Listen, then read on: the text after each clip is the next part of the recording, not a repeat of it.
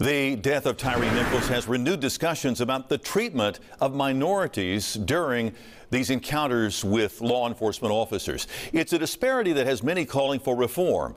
WREG's Jordan James has more on what's being said.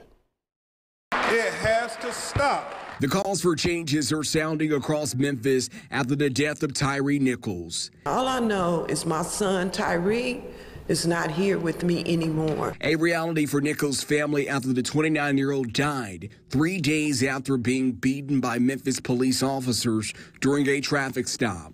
We will see what they did to Tyre.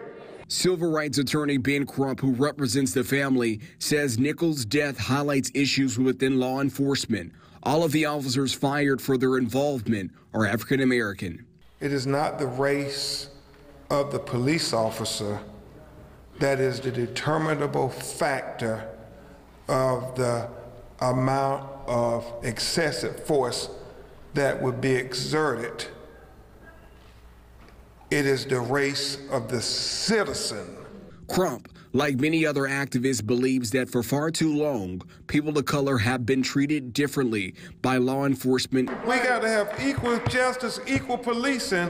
It's something that Van Turner of the NAACP Memphis chapter has spent time looking into and believes perception plays a big reason why. So much of what's portrayed as far as what we see uh, is that of our young black men and women, you know, being the, the face of crime. Turner says it's important that folks understand this is bigger than race. No matter the race of actually the young man or those officers, wrong is wrong.